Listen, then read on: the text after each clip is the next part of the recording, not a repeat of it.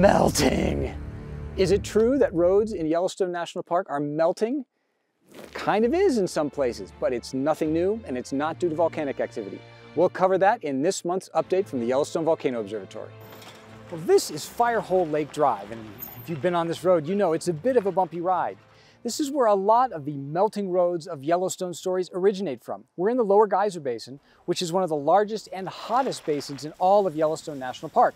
So a lot of this road has to pass boiling ground, and that's just not a good thing for asphalt. As it gets heated from below, it'll start to flow like silly putty, and it's especially bad on hot summer days when the sun's beating down on it from above.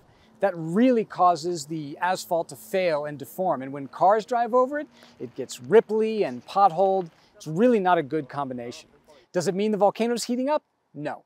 This has been going on in this area for decades. It's a consequence of hot ground interacting with these asphalt roads. It's an incredible engineering challenge. So not a sign of a volcanic eruption, but certainly just a consequence of all of that hot water moving around just beneath the surface. So that's the story of the melting roads.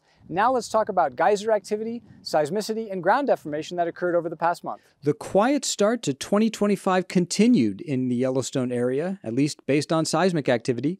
The University of Utah located just 42 events during the month of February. There were two swarms, one from February 1st to the 8th of about 18 events that were between Norris Geyser Basin and Mammoth Hot Springs. And then on February 11th, just south of West Thumb, there were 11 seismic events.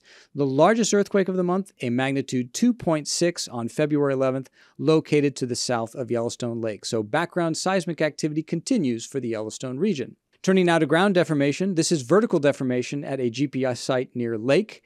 That's on the Sour Creek Resurgent Dome. Each one of these blue dots is one day of data.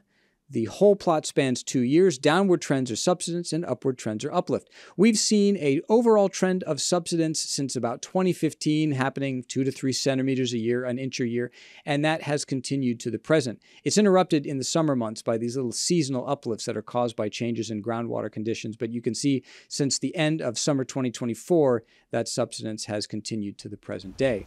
And now finally looking at the tallest geyser in the world, Steamboat Geyser.